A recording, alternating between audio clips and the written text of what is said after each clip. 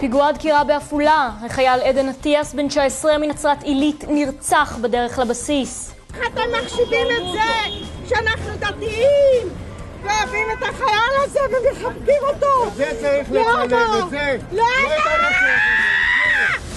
בעקבות הפיגוע, מפקד המחוז הצפוני מעלה את הכוננות.